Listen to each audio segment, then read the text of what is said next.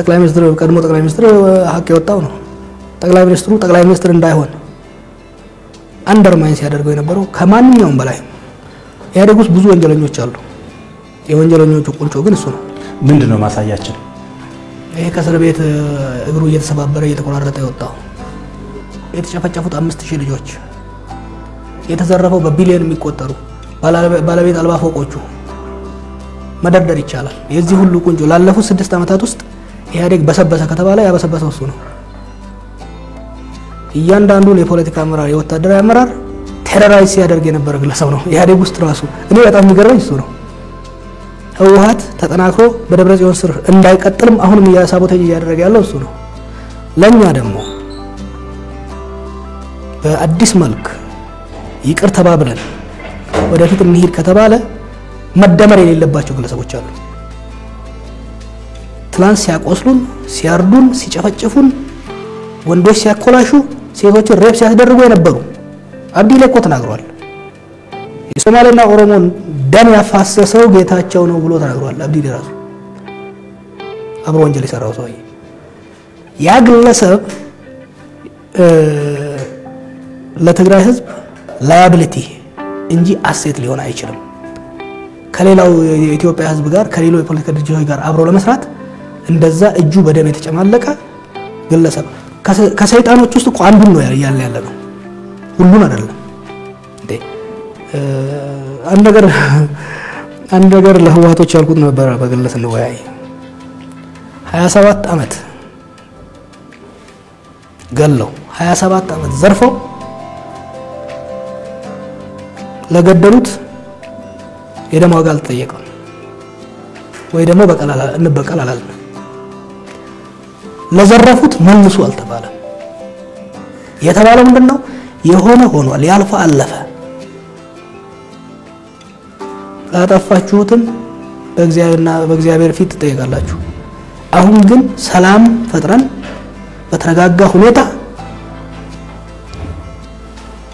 ቁስላችንን አሽረን ጠግገን ለሁላችን የምትሆን ኢትዮጵያን መስረት።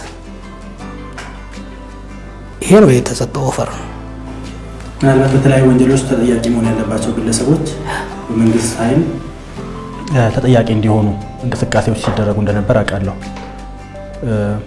በምን ልዩ ሁኔታ ነው አቶ ጌታቸው ተጠያቂ የማይሆኑበት? ምናልባት አሁን የዘረዘርካቸው ወንጀሎች ተጠያቂ ነው የሚል ሀሳብ አንስታልና ታዲያ መንግስት ለምን ዝም አለ? መንግስት ይመስለኛል ለሱ ብቻ ሳይሆን በሁሉም ሰዎች ላይ ቅድም እንዳልኩ በትራንዚሽን ውስጥ በትራንዚሽን ውስጥ ሁሌም ተጻራሪ የሆኑ ምርጫዎች ይቀርቡልሃል። ፍትህን አሰፍናለሁ የምትል ከሆነ ሰላም ሊናጋብህ ይችላል። በፍትህና በሰላም መካከል መምረጥ አለብህ። ደቡብ አፍሪካም የሆነው ይሄ ነው በየቦታው። ከዛ አንጻር በመነሳት አሁን ሰላም ላይ እናነጣጥር፣ ለሰላም priority ሰጥተን ፍትህን sacrifice እናድርግ የሚል ውሳኔ የተወሰነው እንጂማ ለፍርድ መቅረብ ያለበት መሰቀል ያለበት ማዕት አለ። ሆኖም ግን ዛሬ ወደ ፍርድ እንግባ፣ ወደ ቅጣት እንግባ ከተባለ ሰላም ይደፈርስና ትራንዚሽኑ ይጨናገፋል። ስለዚህ ቁስላችንን በፋሻ አስረን ንዴታችንን ውጠን ፍትህን መስዋዕት አድርገን ሰላም አስፍነን ወደ ዲሞክራሲ እንሸጋገር የሚል ውሳኔ መጣ። morally defend ልታደርገው ማትችል politically ግን አስፈላጊ የሆነ ውሳኔ ነው። ለፍትህ አታቅርብና በአመራር ውስጥ አስቀጥል ደግሞ የተለያየ ነው። ለፍትህ ለማቅረብ ቁስል ላይ ፋሻ ማስቀመጥ ነው ካልነው ወደ አመራር መመለስ ግን ያንን ፋሻ አንስቶ ጨው መነስነስ፣ ስንጥር መሰካት ነው። ለዚህ ነው በአዴን ውስጥ እንዲህ አይነት ሲሰሩ የነበሩት አብዛኞቹ ተመንጥረው የወጡት፣ በኦፒዲ ውስጥ ተመንጥረው የወጡት፣ በደህዴን ውስጥ ተመንጥረው የወጡት፣ በህወሓት ውስጥም መሆን ነበረበት። ህወሓት in fact እዚያ ህዝቡን ሲበንም ከፍተኛ ቁጥር ሲዘርፉ ሲያስገድሉ የነበሩት ጀኔራሎችና የደህንነት ሰዎች ከዚህ ስልጣን ሲያጡ ፍትህን ለመሸሽ ተጠያቂነት ለመሸሽ መቀሌ ሄደው ሲመሽጉ አንጠልጥሎ እዚህ መመለስ ነበረበት። ያን ማድረግም አስፈላጊ ግጭት ይፈጥራል ስለተባለ የፌዴራል መንግስት ዝም ያላቸው ይመስለኛል። ያ ዝምታም እንደ ድክመት እንደ ፍርሃት ያዩት ነው የሚመስለኝ። ስለዚህ እንደ ጌታቸው አሰፋ ያለን ሰው ወደ executive መመለስ በቀጥታ እየተደረገ ያለውን ሪፎርም መጻረር ነው። በቀጥታ ለሰላም ተብሎ ፍትህ sacrifice መሆኑን እንደ ቀልድ ያዩት ነው። ላለቁብን ሰዎች፣ ለተኮላሹት፣ torture ለሆኑት፣ ላበዱት ፍትህ ፍትህ ነፍገናቸው ገዳዮች ሰላም ሰጠናቸው። ያ ሰላም አጥግቧቸው አሁንም ወደ ስልጣን የተመለሱበት ሁኔታ ነው ያለው እና ያ በማንኛውም መመዘኛ በማንኛውም መመዘኛ I think እንትን የሚያደርግ ይመስለኛል። አንዳንዴ ሳየው የፍትህ አምላክም እየተናገረ ያለ ይመስለኛል። ምክንያቱም ያንን ፍትህ sacrifice የተደረገውን በመናቅ እንዲህ አይነት እርምጃ ከተመጡ ፍትህ ማስፈን መንግስት የሚገደድበት ሁኔታ የሚመጣ ይመስለኛል እና ኤዘር ወይ ወደፊት ስንሄድ ወደፊት ስንሄድ ኃይል ሊጠቀም ይችላል ብለህ ታስባለህ? አልመክርም፣ ግን በዚህ መልኩ ከሄደ የማይቀር ነው። እኔ አልመክርም። አሁንም ቢሆን አሁንም ቢሆን የፌዴራልና የክልል መንግስት ሊወያዩና ሊደራደሩ ይገባል። የፖለቲካ ልሂቃኑ ሊደራደሩ ሊወያዩ ይገባል። የትግራይ ልሂቃን ወደ አይምራቸው ሊመለሱ ይገባል። ህወሓቶች ቆም ብሎ ሊያስቡት ይገባል። መልካም ጀዋር፣ እንደ እድገትህ አሁንም ከአመለካከቶች ጋር ተያይዘው የፓርቲ አባል ነህ? በቀጥታ ለመጠየቅ የኦነግ አባል ነህ? እኔ የኦነግ ልጅ ነኝ እንጂ አባል አይደለሁም። የፓርቲ አባል ሆኜ አላውቅም። ግን ያው እንዳልኩ በኦነግ በነበረበት አካባቢ ነው ያደግኩት። ግን ከኦህዴዶችም ጋር በቅርበት ሰርቻለሁ። በተለይ ትግል ውስጥ ከገባም በኋላ የውስጥ ለውስጥ ግንኙነት በመፍጠር ብዙ ለውጦችን ለማምጣት የቻለበት ሁኔታ ነው ያለው። እኔም ማምነው ከሰራ ሁሉ ጋር መስራት ከሄደ ጋር መሄድ ግን ሽሽት አይመስልም? አሁን ጀዋር እድገቱ በኦነግ ውስጥ ኦነግ ማህበረሰብ አመለካከቱ ያለበት ማህበረሰብ ውስጥ አድጎ ሲያልፍ ደግሞ አሜሪካን ሀገር ለረዥም ዓመታት ባሳለፈበት ሁኔታ ውስጥ ምክንያቱም እንደ ማሳያ ማንሳት እችላለሁ። ለምሳሌ ኦኤምኤን ላይ ቴሌቪዥን ጣቢያውን በዳይሬክተርነት ስትመራ ብዙ ጊዜ ቃለ ምልልሶችን ስታደርግ የኦነግ ባንዲራ ከጎንህ አለ፣ ብዙ መገለጫዎች አሉ እና በዚህ አይነት ሁኔታ ውስጥ ሆኖ ጀዋር የኦነግ አባል አይደለም ብሎ መናገር ይቻላል? ኦነግ እንደ ድርጅት አይደለም፣ የኦሮሞ ሕዝብ የትግል መገለጫ ሆኗል። ያ ባንዲራ ወደ አንድ ድርጅት ዝቅ ማድረግ አትችልም። የትግላችን አርማ ነው፣ resistance flag። ኦነግን የኦነግን አመራር መስማት የማይፈልጉ በጣም የሚጠሉ ግለሰቦች ቤታቸው ውስጥ ቢሮቸው ውስጥ አላቸው ይሄንን። ስለዚህ የትግላችን አርማ ነው። እኔ ልጅ ሆኜ ጦርነት ነበር እኛ አካባቢ እና አንድ ልጅ ተገደለ። ያንን ልጅ በዚህ ባንዲራ የቀበር ነው። ከዛ ጀምሮ የሚሞቱት መስዋዕት የሚሆኑት ልጆች በሙሉ በዚህ ነው የሚቀበሩት እና የባንዲራ ጉዳይ የአንድ ድርጅት የአንድ ideology ጉዳይ አድርጎ ማየትም ተገቢ አይመስለኝም። በፓርቲ አባልነት የኦነግም የማንኛውም ፓርቲ አባል አይደለሁም። ለወደፊትም መሆን አልፈልግም። ከሁሉም ጋር ግን እሰራለሁ።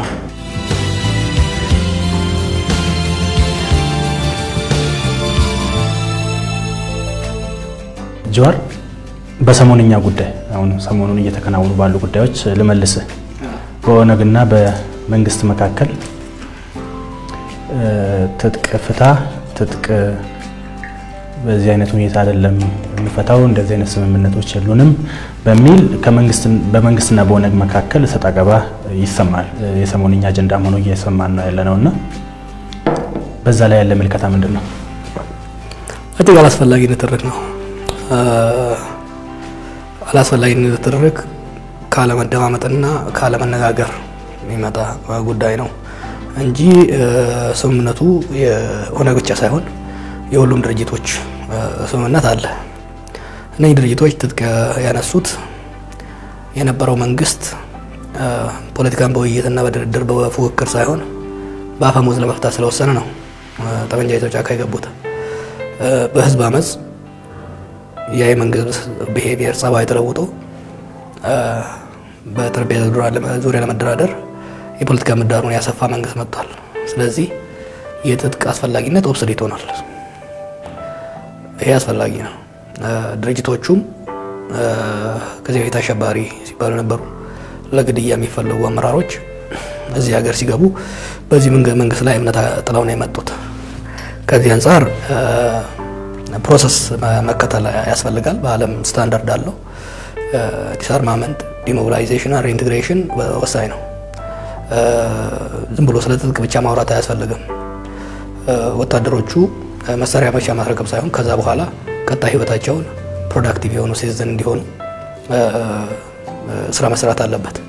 ለዚህ ደግሞ ጠቅላይ ሚኒስትሩ task force አቋቁሟል።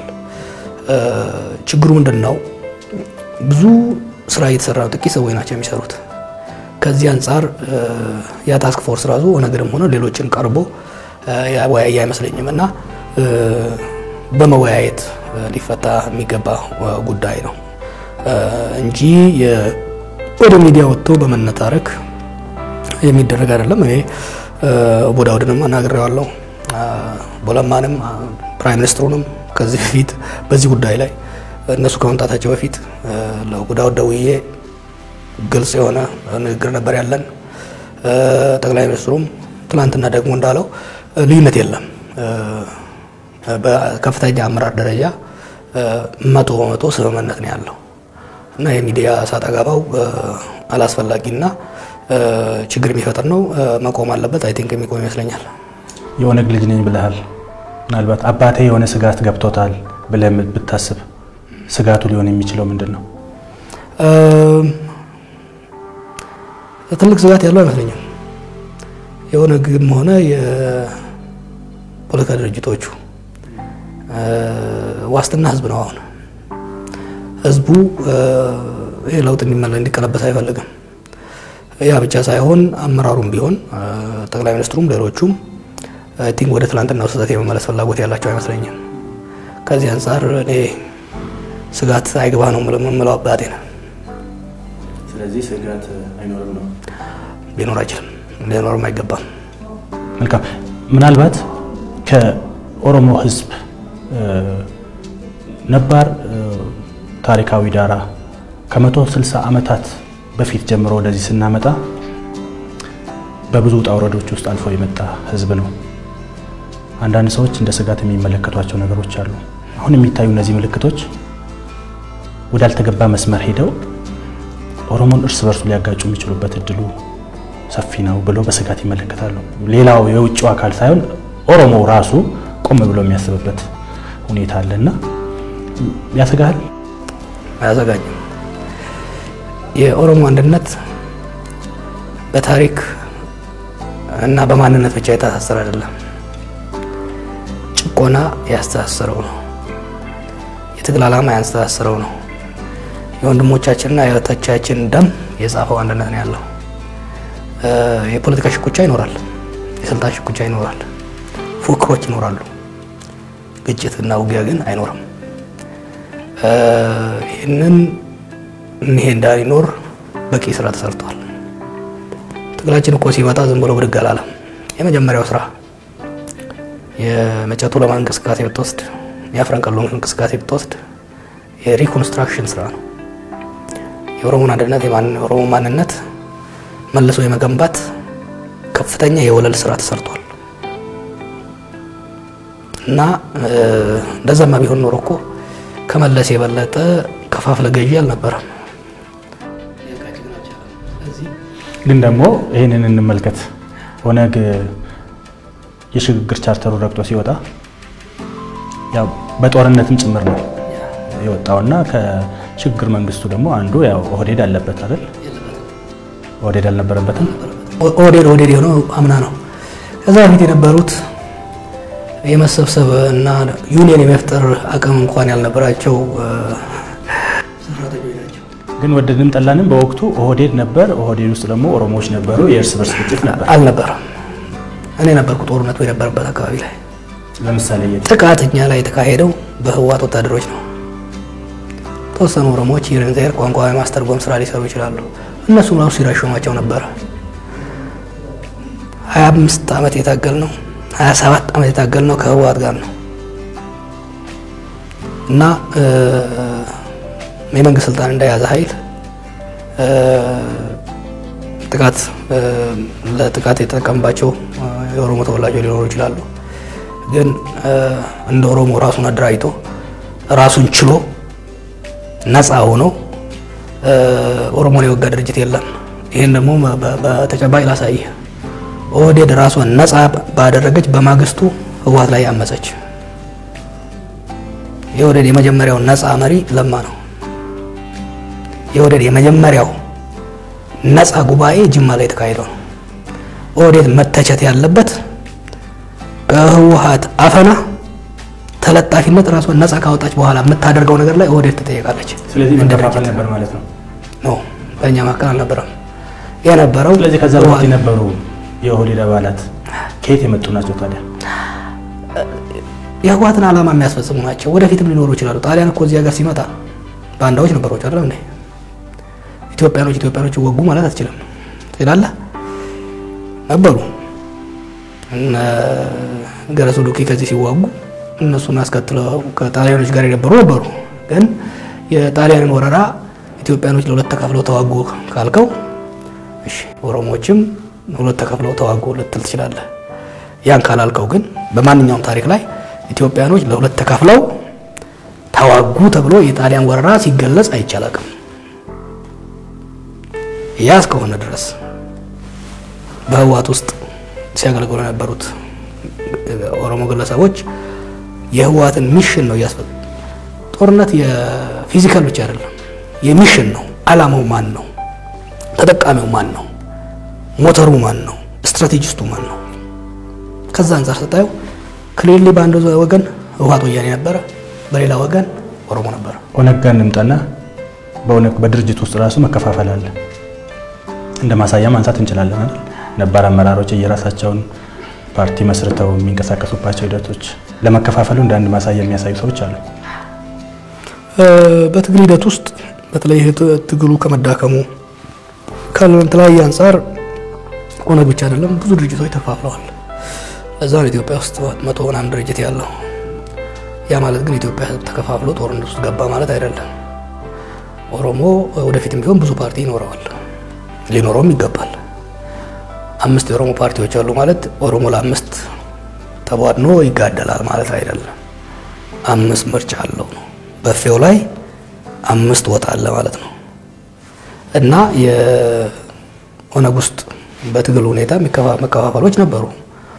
ግን ወደፊት ሜንድ እየተደረጉ የሚሄዱበት እድል ነው የሚመጣው እንጂ ከእንግዲህ በኋላ ግን አንዳንዶች እንደሚመኙት ወይም ደግሞ እንደሚፈሩት ኦሮሞን በጎሳ በሃይማኖት ምናምን ይጋጫል አይቻልም። ኢትዮጵያ ውስጥ ራሱ ይህንን ሽግግር በአግባቡ ከመራነው በአግባቡ manage ካደረግነው በኢትዮጵያ ውስጥ ራሱ I think ያሉ ግጭቶች እየቀነሱ እየተቀነሱ የህዝቦች ውህደት እየጠነከረ የሚሄድበትን ነው የሚታየኝ።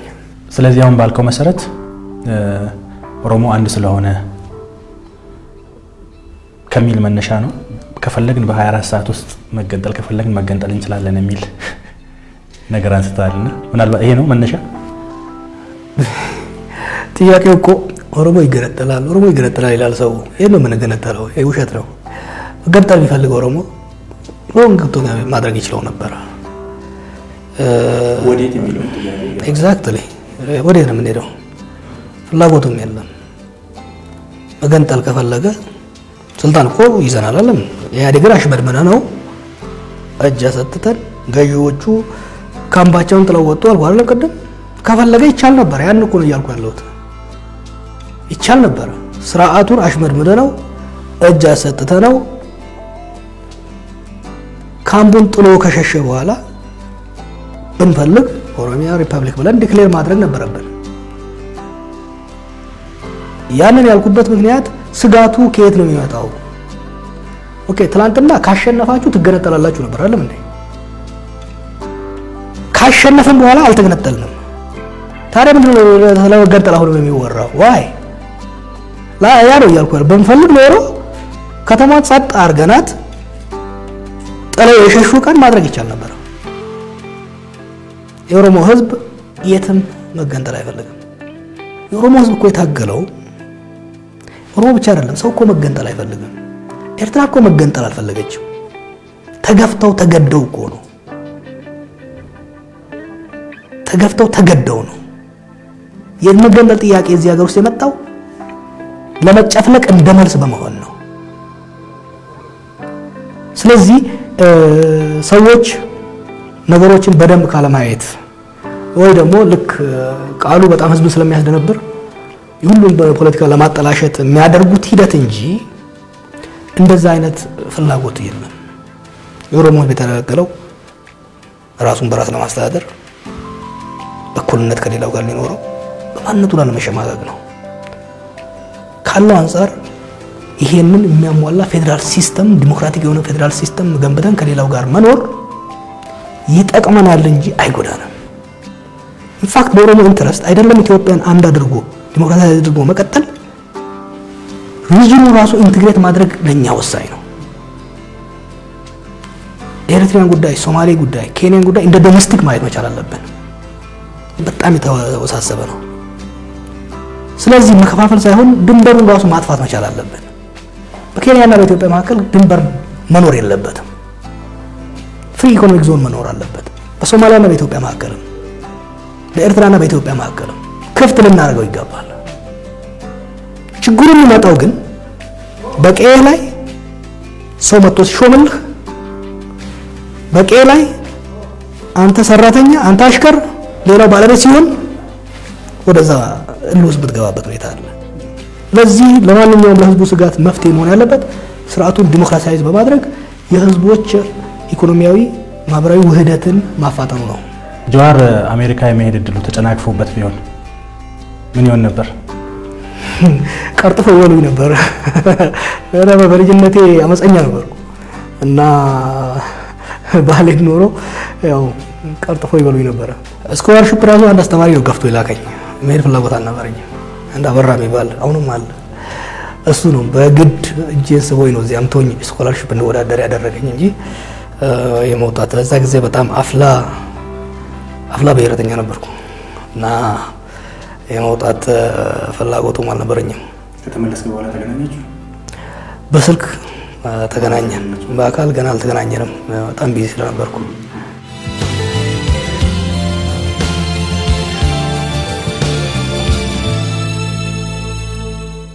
ከዚህ ከጊዜ ሰሌዳ ጋር ተያይዞ በመደበኛ ጊዜ ሰሌዳ ከሄን የምርጫ ጊዜው እየደረሰ ነው። ሀገሪቱ በለውጥ ሂደት ላይ ናት። በእርግጥ ያው ያልተረጋጉ ነገሮች ቢኖሩም የጊዜ ሰሌዳውን ጠብቆ ግን ምርጫው እየመጣ ነው። ምርጫው መከናወን አለበት ወይስ መከናወን የለበትም? መከናወን ካለበት እንዴት? መከናወን ከሌለበት ለምን? ለእኔ ትልቁ ነገር ሂደቱ ነው። ውጤቱም አይደለም፣ ቀኑም አይደለም። ሂደቱ ወሳኝ ነው። ከዚህ በፊት ምህዳሩን አጥቦ አንድ ፓርቲ ብቻ ነበር ሲጫወት የነበረው ብለናል። አሁን ምህዳሩ ሰፍቶ ሁሉም ፓርቲዎች ገብተዋል። ስለዚህ የምርጫ ሕግ ይሻሻላል። ሲሻሻል በፓርቲዎች ውይይትና ድርድር መሆን አለበት። የምርጫ ቦርድ አስተዳደር ከላይ እስከታች ወይ ሊቀየር ይችላል ወይ ሊቀጥል ይችላል። ግን መቀየሩም መቀጠሉም በገዢው ፓርቲና በተቃዋሚ መካከል ድርድር መካሄድ መቻል አለበት።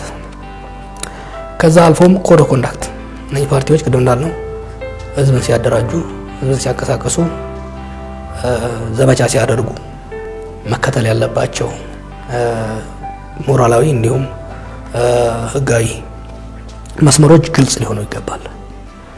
ሊደራደሩ ይገባል። የ local ምርጫ የቀበሌና ወረዳ እንዲሁም የማሟያ አንድ ያስተላልፈውታል። አሁንም እየመጣ ነው። ስምንት ወር ነው የቀረው። ቀኑ እየቆጠረ ነው። ምንም ዝግጅት እየደረገ አይደለም። የሚያስተላልፉትም ከሆነ በአንድ ፓርቲ መሆን የለበትም። ሊወያዩና ሊግባቡበት ይገባል። ቀነ ገደቡንም code conduct ኡንም የምርጫ ህግጋት አስተዳደሩንም ቁጭ ብለው ሊወያዩ ይገባል። for some reason በሚገርመኝና በሚደንቀኝ መልኩ ይሄን ነገር እየተሰራበት አይደለም። እዚህም እዛም ይሞከራል፣ ግን የሚያስፈልገው grand የሆነ bargain ያስፈልጋል። ይህን ካላደረጉት ይቺን ሀገር ለአደጋ ነው የሚያጋልጧት። ምክንያቱም እዚህ ሀገር ውስጥ ከእንግዲህ በኋላ ምርጫ መስረቅ አይቻልም። it's impossible። ምርጫ ለማጭበርበር ምርጫ አጭበርብሮ ስልጣን ላይ ለመቆየት አይችልም ኢህአዴግ። ተቃዋሚውም ምርጫ ማጭበርበር አይችልም። ወደ ምርጫ ማጭበርበርና መካካድ ከሄድን ወደ እርስ በርስ ጦርነት ነው የምንገባው። ሀገር ነው የምናፈርሰው። ስለዚህ በሁሉም ጉዳዮች ላይ የዛሬ ስድስት ወር መጀመር ነበረበት። ጠቅላይ ሚኒስትሩ ስልጣን ይዞ በማግስቱ መጀመር የነበረበት ይሄ ነው እና ይሄ መዘግየቱ በጣም በጣም በጣም ለዚች ይችን ሀገር ለከፍተኛ አደጋ እየጋበዘ ያለው ነገር ካለ በምርጫ ጉዳዮች ላይ አለመደራደር፣ አለመወያየት ነው። መግባባት አለባቸው። የምርጫ ዝግጅቱ አሁን መጀመር አለበት። ሁሉም ፓርቲዎች ቀኑን ከፍም ራቅም ቀረበም ሊያደርጉት ይችላሉ፣ ግን በውይይትና በድርድር ብቻ። ያን ካላደረጉት ገዢው ፓርቲ በተለይ ለመክር የምፈልገው ብዙ ጥሩ ጥሩ ስራዎች እየሰሩ ነው። እነኛን ስራዎች ተቃዋሚውን ማሳተፍ አለባቸው። ተቃዋሚውን የማያሳትፉ ከሆነ ተቃዋሚው ነገ ይክዳቸዋል፣ የለውበትም ይላል። መካካድ ደግሞ ለመገዳደል የመጀመሪያው እርምጃ ነች። ወደዚያ ገብተን 50 ዓመት 60 ዓመት የተጣረበትን የተለፋበትን መስዋዕት የተከፈለበትን ዲሞክራሲያዊ ህብረ ብሔራዊ ሀገር የመመስረት ህልም ለአንዴና ለመጨረሻው ማጨናገፍ ሊሆን ይችላል። ስለዚህ ምርጫ ጉዳይ ላይ በጣም ተዘግቷል። በአስቸኳይ መስራት አለበት ብዬ ነው የማቅረው። ባለው ሀገራዊ ሁኔታ በተለይ ከዚህ ከማህበራዊ የመገናኛ ትስስር ዘዴዎች ከነዚሁ ጋር ተያይዘው የሚነሱ ችግሮች አሉ። አሁን አሁን ኮሽ ባለ ቁጥር መንግስት ኢንተርኔት ያጠፋል፣ ስጋት አለበት፣ ስጋት ይዞታል። ከዚህ ከ social media ወይም ከማህበራዊ ሚዲያ አጠቃቀም ጋር ተያይዞ ችግሮች እንዳሉ በስፋት ይነሳልና ምናልባት ወደ ሀገር ቤት ከተመለስክ በኋላ የገመገምካቸው ያየሃቸው ነገሮች አሉ? social media is a gift and curse ለህዝባችን ምርቃትም ነው እርግማንም ነው አብሮ የመጣው። የ social media መምጣት የ information ፍጥነትን ጨመረ፣ ዋጋውን ደግሞ ቀነሰ። ድሮ social media ሳይኖር ሚዲያ የመንግስት ወይም ደግሞ የባለ ሀብቶች ብቻ ነው። information ከላይ ወደ ታች ወደ ህዝብ ይመጣል እንጂ ህዝብ influence ይደረጋል እንጂ ህዝብ መንግስትን influence አያደርግም ነበር። አሁን information ከታች ወደ ላይም ከላይ ወደ ታችም አግድሞሽም በ circle ም ይንቀሳቀሳል። ስለዚህ ህዝብ መንግስትን influence የማድረግ አቅሙ በጣም ትልቅ ነው። ለዚህ ነው መንግስት በየቀኑ social media ላይ የሚሄደውን ነገር react ሲያደርግ የምታየው። ያ ህዝቡን empower አድርጓል፣ አቅሙን ጨርሷል፣ ጨምሯል። የዜጋ አቅም ordinary individual መንግስትን influence ማድረግ ይችላል። of course ከዛ ጋር ደግሞ ዜጎች ሁሉም አንድ ስላልሆኑ እውነትን የሚያቀርብ እንዳለ ሁሉ ለእውነት የሚታገል እንዳለ ሁሉ ለግጭት የሚታገልም አለ እና ይሄ ነው curse የሚያደርገው። social media ን መቆጣጠር አይቻልም። ከዘጋኸው አንተም ዜጋም አብረህ ነው የምትዘጋው። መንግስት ደግሞ ዜጎችን መድረስ አለበት። ዜጎችን information መስጠት መቻል አለበት። ያን ለማድረግ ግድ የግድ social media መጠቀም አለበት። social media በዘጋ ቁጥር አንተም ትዘጋለህ፣ ህዝብና አንተም ትቆራረጣለህ። ኢትዮጵያ ውስጥ ያየው ችግር ያ አይደለም፣ አለመዳረሱ ነው። ኢንተርኔቱ በጣም ውድ መሆኑ በየቦታው አለመድረሱ ነው ችግሩ። ኢንተርኔት በስፋት ከተዳረሰ self regulative mechanism እኮ አለው። ለምሳሌ አንተ የሆነ ነገር ስለኔ ብትል ሪፖርት ብታደርግ ሀሰት እነሱ ስላሉ ከዚሁ ጋር ደግሞ ያንተን contradict ያደርጋሉ። ስለዚህ እንደ ድሮ እንደ traditional media አይደለም። ውሸት በ social media ላይ የሚሄደው ውሸት shelf life ኡ በህይወት የመኖር አቅሙ በጣም አጭር ጊዜ ነው። ምክንያቱም ሁሉም ዜጋ ስለሚ አንተ ብቻ አይደለም አንድ ነገር የምታየው ብዙ ሰው ነው የሚያየው እና impact ኡን minimize ማድረግ ከተፈለገ እንደውም ማስፋት ነው የሚያስፈልገው። የኢንተርኔት ጥንካሬያችንን ለኢኮኖሚውም ለማንኛውም ጉዳይ የኢንተርኔት speed ኡም ፍጥነቱም ዋጋውን መቀነስ መቻል አለበት። በየቦታው መዳረስ አለበት። ምናልባት አሁን የመንግስት ስጋትን አትጋራም? አሁን መንግስት የሚያደርጋቸው ነገሮች ምክንያቱም በአጭር ጊዜ ውስጥ መረጃዎች የሀሰት መረጃዎች ሊሆኑ ይችላሉ፣ ይሰራጫሉ። እነዛ መረጃዎች ደግሞ ሰው ወደ አልተገባ እንቅስቃሴ ሊያስገቡ ይችላሉ። ከዚህ አንጻር አላየህም? ስጋት ይገባ ይታየኛል። ግን በየጊዜው አንድ ነገር በተፈጸመ ቁጥር ኢንተርኔት እየዘጋ እየዘጋ ከሄድክ በነገራችን ላይ በኢንተርኔት ከሚተላለፈው rumor ወይም ሀሜት የሀሰት ወሬ ያለ ኢንተርኔት የሚተላለፈው አደገኛ ነው። counter check ማድረግ አትችልም። ለምሳሌ ወታደሮቹ ያን ነገር ሲሞክሩ ፎቶዎች ተነሱ፣ መፈንቅለ መንግስት ነው ተባለ። ወዲያው ኢንተርኔት ዘጋ መንግስት አይደለም። መፈንቅለ መንግስት አለመሆኑን በምን ነው የምታስረዳው? እንዳውም ያ መፈንቅለ መንግስት ነበረ የተባለው የሀሰት ወሬ እውነት ሆኖ ህዝብ ውስጥ ነበር የሚገባው በሀሜት ስለሚሄድ። ከዛ ይልቅ የሚያስፈልገው መንግስት ጠንካራ የሆነ በደንብ የሰለጠኑ ethical የሆኑ ፈጣን የሆኑ information ን በየጊዜው ሊያደርሱ የሚችሉ የ communication ሰዎች ያስፈልጉታል counter ለማድረግ። አሁን ፍጹም አረጋ የሚያደርገው በጣም ይረዳል። ጠቅላይ ሚኒስትሩ በየጊዜው tweet tweet የሚያደርጋቸው ነገሮች ነገሮች ሲነሱ መልስ የሚያደርጋቸው ነገሮች ይረዳሉ። እንደዛ እንጂ የሚያስፈልገው መዝጋቱ አይደለም። መዝጋቱ መዝጋቱ እንዳውም አደጋ አለው። ትላንትና እግዚአብሔር አወጣቸው እንጂ serious ቢሆን ኖሮ እነዛ ወታደሮች መፈንቅለ መንግስት ሞክረው ቢሆን ኖሮ እነሱን እናከሽፋለን ብለህ በኢንተርኔት ብታጠፋ ከነዛ ወታደሮች ውስጥ አንዱ መጥቶ እናንተ ቲቪ ላይ መሳሪያ ይዞ የሆነ ነገር ቢናገር አለቀ። ሀሰትን fake news ን በ factual news በተለይ traditional ሚዲያዎቻችንን በማጠናከር በመንግስት ደረጃ የኮሚኒኬሽን የሚዲያዎቹን አቅም በማጠናከር professionalism ን ኤፊሽንሲውን በማጠናከር ነው መሄድ ያለብን። ለምሳሌ እኔ ታማኝነት አለኝ። ያልተረጋገጠ መረጃ እኔ ስላወጣው ሌላ ሰው እንዳያደርስ ብለህ ብዘጋ ኢንተርኔት ሁለት ሰው ከሰማው አንተ ስታጠፋ እንዴት እንደሚያስብ ታውቃለህ?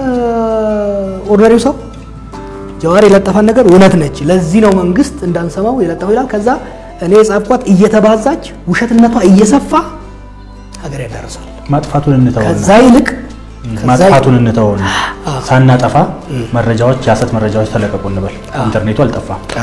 ይዞ የሚመጣው እንድምታው ምንድን ነው ነው አሁን ጥያቄው። እንድምታ አለው። ችግር ይፈጥራል እኮ። ግጭት ይፈጥራል፣ ግን ለአጭር ጊዜ ነው የሚፈጥረው። ከዛ ይልቅ የሚያስፈልገው ጠንካራ የሆኑ ዜጎች እንደዛ አይነት ሀሰትና information ኦች ሲመጡ በፍጥነት መልስ እየሰጡ ነው። የተዛናክሰር ተብልኮ ትላንትና እዚህ ሀገር ውስጥ የሆነው። አምስት ሰዓት ክስተቱ ተጀምሮ ከአምስት ከስድስት ሰዓት በኋላ ነው መንግስት መግለጫ የሰጠው።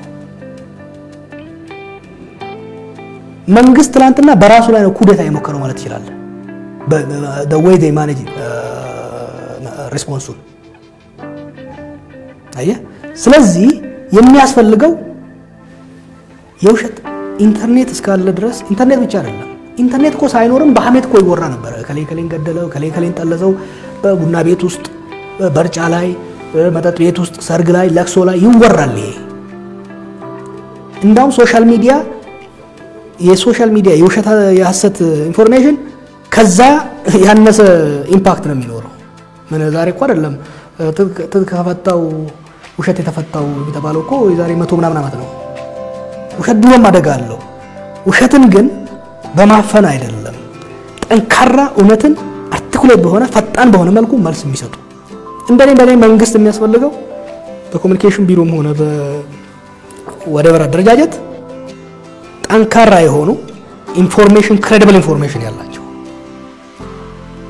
በ other side ሆኜ ስጫወትባቸው ስለነበር አውቀዋለሁ። የመንግስት ድክመት ልንገርህ፣ አንደኛ ዝርክርክ ነው። በጣም bureaucratic ነው። ሚስጥር መሆን ያለበትን ሚስጥር አያደርጉም። ሚስጥር መሆን የሌለበትን ሚስጥር ያደርጉታል። አንድ information መንግስት ማውጣት ሲገባው እኔ ቀድሜ ካወጣው እኔ ተአማኒነት አገኛለሁ፣ መንግስት ተአማኒነት ያጣል። ስለዚህ መንግስት ማድረግ ያለበት ዘመናዊ የ PR branch ያስፈልገዋል። ፍጥነት ያለው ቀልጣፋነት ያለው access ያለው በየቦታው የሚያገኘውን information አንደኛ አስቀድሞ አሁን እኮ መንግስት react እያደረገን ያለው ለተባለው በ social media ላይ ለተነሳው ነው react መልስ እየሰጠ ያለው። አጀንዳ set እያስደረገ መምጣት መቻል አለበት። አምና ጀምረው ነበረ አዲሱና ንጉሱ ሲሰሩ የነበረው ሁለት ነገር ሲሰሩ ነበረ። አንደኛ አስቀድመው information በመስጠት misinterpretation እንዳይመጣ ሲከለክሉን ነበረ። አስቀድሞ information ሲወጣ ደግሞ እውነተኛ በሆነ መልኩ balance በሆነ መልኩ በፕሮፓጋንዳ ሳይሆን factual በሆነ መልኩ በማቅረብ counter ያደረጉን ነበር። አሁን ያቀረ ወደ ቀድሞ ኢህአዴግ ተመልሷል። የነሱ ኮሚኒኬሽን አሁን ወደ ቀድሞ ኢህአዴግ ተመልሷል እና ያንን በማስተካከል ጠንካራ PR ቡድን በመስራት ነው መሄድ ያለባቸው። አሁን በሀገራችን ያሉ ሚዲያዎችስ አሁን ባለው ሂደት ለውጥ እያሳዩ ነው ብለህ ታስባለህ? አዎ ብዙ ለውጥ እያሳዩ ነው። in fact እኔ I'm impressed ምክንያቱም ታፍነው የአንድ ፓርቲ ቆርቆሮ ሆነው የቆዩ ሚዲያዎች በአምስት በስድስት ወር ውስጥ እያመጡ ያሉት ለውጥ incredible impressive ነው። የ interview እያደረከኝ ስለሆነ ልከምራችሁ አይደለም። በጣም interesting ነገሮች መጥተዋል። ኢቢሲ ችግር አለበት ትንሽ፣ ሌሎቹ ግን እንደነ ዋልታ እነ ፋና ኤፍኤሞቹ ምንም ነገር ያስተላልፉ እንትን መረጃ የመረጃ ፍጥነትን ጨምረዋል። inclusive መሆን ጀምረዋል። የተለያዩ voice ኦችን እያመጡ ነው። የሚጠይቋቸው ጥያቄዎችም ጠለቅ እያሉ ነው። አጨብጭብ ብቻ ቀርቷል እና ጥሩ ሁኔታ ነው፣ ግን በቂ አይደለም። እኔ እንደሚታየኝ የሚዲያ ሕጉን መንግስት እያሻሻለ እና ባለሙያ እያሻሻሉ ጎን ለጎን የመንግስትንም ከመንግስት ውጭ ያሉ ሚዲያዎችም አንድ ላይ መጥተው council ሊኖራቸው ይገባል። ምክንያቱም ሚዲያ በህግ ብቻ ሳይሆን የሚገዛው እርስ በርስም manage ሊደራረግ ይገባል እና የሚዲያ council በማቋቋም አንዳንዴ ህግን ሳትጥስ ሀገር ልታፈርስ የምትችልበት እድል ሊመጣ ይችላል። ህግን ሳትጥስ ብሔራዊ ደህንነትን አደጋ ላይ የምጥልበት ሁኔታ ሊመጣ ይችላል። በዛ ጊዜ መንግስት ያለው አማራጭ ወይ ራሱ ህግ ጥሶ መጥቶ ደህንነትን ለማስከበር እና የሰላም ለማስከበር እርምጃ ወስዶብህ የፕሬስ መብትን የሚጋፋበት ሊፈጠር ይችላል። እንደዛ አይነት ነገሮች እንዳይፈጠሩ የሚዲያ ሰዎች፣ professional ጋዜጠኞች፣ editor ኦች አንድ ላይ በመምጣት monitor እያደረጉ ሚዲያ ላይ ይሄ ነገር የቀረበበት አካሄድ ምንም እንኳን ህጋዊ ቢሆን ሞራላዊ አይደለም፣ ከወቅቱ የሀገሪቷ ፖለቲካዊ እና ነባራዊ ሁኔታ አንጻር አግባብ አይደለም ተብለው የሚገሳጸጹበት ሁኔታ የሚመካከሩበት መድረክ አስፈላጊ ይመስለኛል። ለውጥ ውስጥ በተለይ በትራንዚሽን ውስጥ በምንሄድበት ወቅት ነፃነትን እየተለማመን ነው እየሄድን ያለ ነው። እና አሁን በእኛ የእኛ ነፃነት በአንድ በኩል መንግስት አለ፣ በአንድ በኩል ዝም ብሎ ልቅ እንዳይሆን በመንግስትና በሚዲያው መካከል የራሱ የሚዲያው ላይ የተዋቀረ ቡድን ቢኖር ጥሩ ይመስለኛል። ከዛ አንስቶ ደግሞ institution ኦችን እያቋቋምን የሚዲያ ethics ም ሆነ ሌሎች ላይ ጠንከር ያለ የሚሰሩ ስራዎችን watchdog ሚዲያ watchdog ኦች አሉ። አሜሪካ ውስጥ አሁን press freedom በጣም extended ነው፣ ግን የተለያዩ ድርጅቶች አሉ። Anti Defamation League አለ፣ Southern Poverty Law የሚባል አለ። በህግ ማዕቀፍ ውስጥ አንድን ቡድን ሊጎዱ የሚችሉ የሚዲያ content ኦች ሲመጡ በህግ እንኳን ባይከሱ በህዝብ ላይ shame በማድረግ በማዋረድ ስም በመጥራት ሚዲያዎች በተወሰነ ደረጃ እንዲቆጠቡ የማድረግ ስራ አለ። ለምሳሌ አሜሪካ ውስጥ በጣም develop አድርጓል። ለምሳሌ አንድ ሰው ቢቀርብና ጥቁሮችን ሚነካ ነገር ሊናገር ይችላል። ህግን አልጣሰም። ስለዚህ በህግ ልትከሰው አትችልም። ሆኖም ግን group ኦች አሉ ወይ በዛ ሚዲያ ላይ campaign ያደርጋሉ። ሚዲያው ላይ advertise የሚያደርገው company ላይ ሄደው ያ withdraw የማታረግ ከሆነ ያንተን sponsorship ለዛ ሚዲያ እቃ አንገዛም የሚል campaign ሊያደርጉ ይችላሉ። ወይ ደግሞ ያ ሚዲያ ያን content የማታነሳ ከሆነ ያን ጋዜጠኛ የማታነሳው ከሆነ company ዎቹ withdraw የሚያደርጉበት ብዙ አይነት መንገዶች አሉ። we have to develop ወደዛ መግባት እንችላለን። እስክንገባ ድረስ ግን እስክንገባ ድረስ ግን I think አንድ ከሚዲያዎች የተወጣጣ ቡድን መኖሩ ጠቃሚ ይመስለኛል። መልካም አክቲቪስት ጀዋር መሀመድ ሰፊ ጊዜ ሰጥተህ በነበረን ቆይታ ከኛ ጋር ቆይታ ስላደረግክ በተመልካቾቻችን ስም ከልብ እናመሰግናለን። እንግዲህ በተለያዩ ጊዜያቶች ያው መገናኘታችን አይቀርም። እዚሁ ትቆያለህ፣ ተመልሰህ ትሄዳለህ። ኦኤምኤን ላይ ያሰብካቸው ነገሮች ምንድን ናቸው የሚለውን እንደ ማጠቃለያ ነገር አንሳለን እና እንሰነባበታለን። እኔ ከእንግዲህ በኋላ መሞተው የምቀበረው እዚሁ ነው። እንግዲህ በኋላ ንቅንቅ የለም ብቻለሁ። ህዝቤን ማገልገል ፈልጋለሁ። ከእንግዲህ በኋላ የቀረችውን እድሜ productive citizen በመሆን በተለይ በትምህርቱ ዘርፍ ከታች የሚወጣውን ትውልድ በማነጽ ደረጃ ላይ መሳተፍ ፈልጋለሁ። በሚቀጥሉት ጥቂት ወራት ውስጥ ደግሞ ይሄ ለውጥ ወደኋላ እንዳይመለስ ይሄ ለውጥ ወደፊት እንዲቀጥል የተቻለኝን አስተዋጽኦ አደርጋለሁ። ከእንግዲህ እዚሁ ነው የምኖረው፣ እዚሁ ነው የማረጀው፣ እዚሁ ነው የምከበረው። አክቲቪስት ጀዋር መሀመድ ለነበረን ቆይታ በተመልካቾቻችን ስም ከልብ ከልብ እናመሰግናለን። አመሰግናለሁ። እንግዲህ ክቡራትና ክቡራን ተመልካቾቻችን ከአክቲቪስት ጀዋር መሀመድ ጋር የነበረን ቆይታ ይህንን ይመስል ነበር። ከኛ ጋር ቆይታ አድርጋችሁ ስትከታተሉ ለነበራችሁ በሙሉ ምስጋናችን ከልብ ነው። ጤና ይስጥልን።